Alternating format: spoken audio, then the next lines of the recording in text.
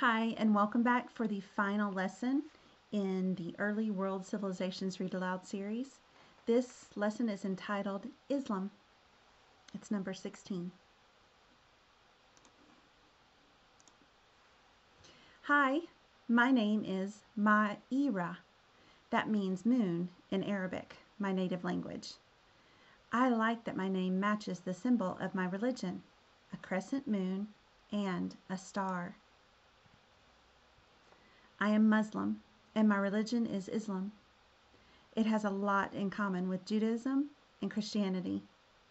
My friends Miriam and Peter shared their important holidays with you, and I want to do the same. Today, we are celebrating Eid el Fitr, the end of Ramadan, a month long period during which we fast. That means that we do not eat or drink anything from sunup to sundown every day for a month. Ramadan is the holiest month of the year for Muslims. But you need to know the story of my faith in order to understand why. About 600 years after Jesus was born, the prophet Muhammad was born in the land that we now call Saudi Arabia. In those days, while Christians and Jewish people already believed in one all powerful God, the people living in Saudi Arabia still believed in many gods and goddesses. Muhammad believed that he heard the voice of God, sending him messages of how to lead a better life, a life of helping others. According to our religious teachings, Muhammad became a prophet and he began to spread God's message throughout the land. Muhammad taught that the rich should share the wealth with the poor. During Muhammad's life, the stories that he received from Allah, the Arabic word for God, were never written down because Muhammad could neither read nor write. But later they were written and collected into the Muslim holy book, the Quran. The Quran has some stories that are the same as the stories told in both the Hebrew Torah and the Christian Bible. The Quran also contains laws about how to live a good life. The month of Ramadan celebrates the time that the Quran was revealed to Muhammad. One reason Muslims fast at this time of year is because Muhammad fasted in the desert before he received God's messages. Another reason is to help us remember the poor and the hungry. It is a month of close family activities and much praying. Speaking of prayer, let me show you my mosque. A mosque is the Muslim place of worship, the spiritual center of the Islamic community. Sometimes mosques are very fancy, like the Dome of the Rock in Jerusalem. Ours is not quite so fancy as that, but it is a place I love to go, especially at night during Ramadan. Usually a mosque has one or two towers known as minarets, and it is from there that the holy man calls us to prayer.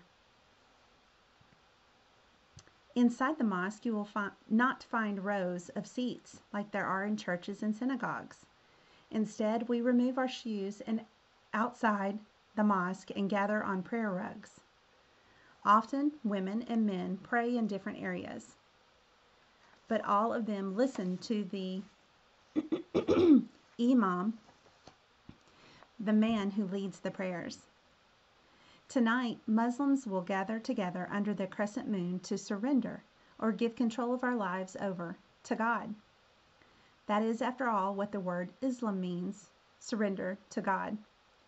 Then we will break the fast together, first with a date and some water, as we always do, and then with a marvelous feast. Yum!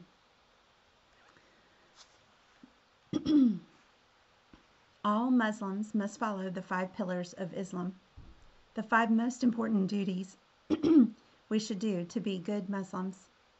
Praying five times each day in the direction of Mecca, Muhammad's birthplace, is one of the five pillars or duties we must perform. Another pillar is fast is fasting during Ramadan. Other pillars include helping the poor and needy and making a pilgrimage or visit to Mecca at least once in our lifetimes. The most important pillar, the Shahada, is declaring our faith in, in one God. We say there is no God but God, and Muhammad is his prophet. Muslims believe that Abraham, Moses, and Jesus were all great prophets. But Muslims believe that the greatest of the prophets is Muhammad. Likewise, while we believe in some of the teachings of both the Hebrew and the Christian Bibles, all of our beliefs are in the poetic book known as the Quran. Miriam, Peter, and I belong to three different religions, but I hope that you have learned how many similarities we share. I have the same wish for the world as Peter and Miriam. Assalamu alaikum. Peace be unto you. All right, guys, this is the end of this Read Aloud series. Um, there will be other series, so look for them. Thanks.